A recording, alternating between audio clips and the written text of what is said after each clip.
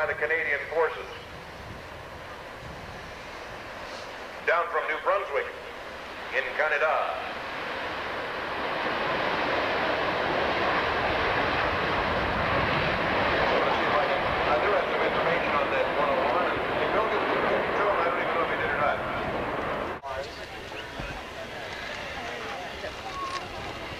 and I'll be back later for their landing and their termination. And I'll turn back over to Bunny. Okay, thank you very much. Major Robin File. And as you look at this Here come the CF-101 Voodoos. These are the airplanes that came in from Canada, from New Brunswick. This is the last operational Voodoo squadron in Canada. And as we said, these guys like to light the blowers when they come by. So you hear the afterburners light up on both of those airplanes, and we'll tell you about the F-101.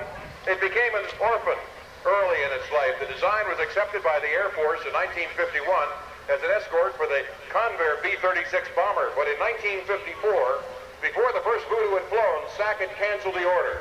Fortunately, Tactical Air Command decided to take the design over. And in 1957, TAC's 81st Tactical Fighter Wing accepted the first three squadrons of the McDonnell Douglas F-101 Voodoo.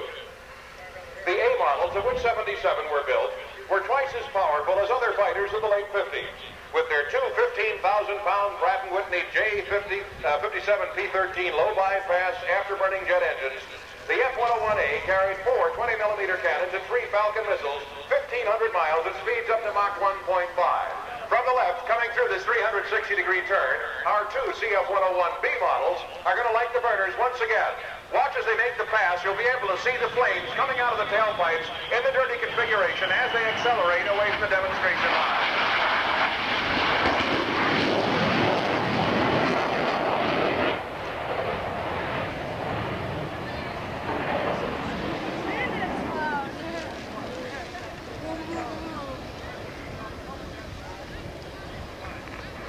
The C model was stronger to withstand the buffeting of high or three more passes. And each time they come by in that turning configuration, you see them head on. We're going to watch them do this crossover pass with the burners. Listen for the burner light.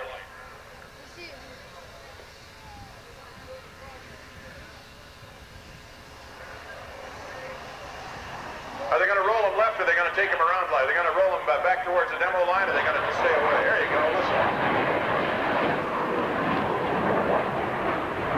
If you'd like to have a close-up look at one of these airplanes, the sister ship with the number 416 on the tail is to the left side of the green and white striped VIP tent.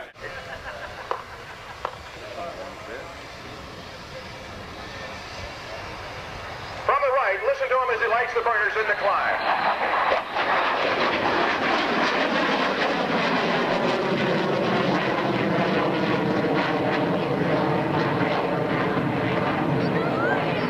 The Golden Knights airplane now taxiing out. We have until 1.30 this afternoon before the air show really gets underway. So you can see this is just a little warm-up That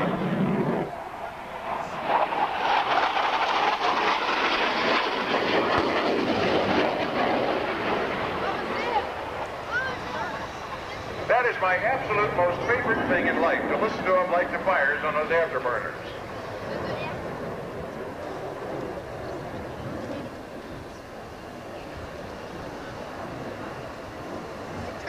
Big old J-57s driving that thing through the air.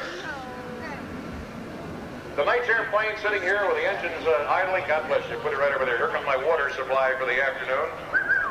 All right. Thank you, Debbie.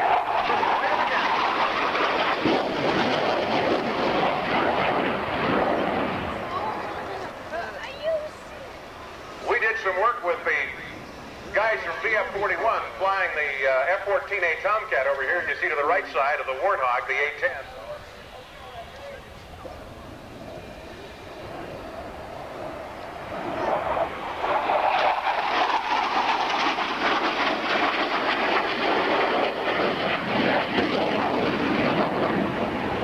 So that's sitting out here in front of us with the engines idling. Here you go, and a knife edge pass.